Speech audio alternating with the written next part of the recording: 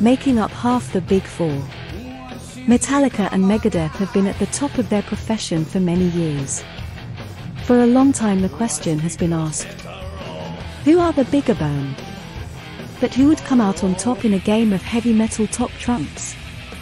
Well today we're going to find out. So grab your popcorn and enjoy.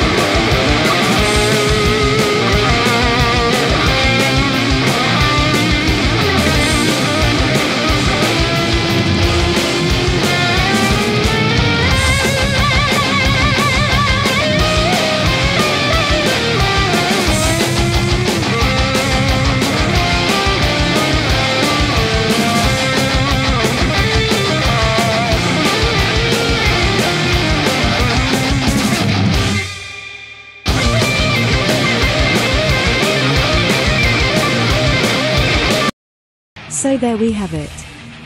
Metallica just sneaked it at the end. Who is your favorite between the two?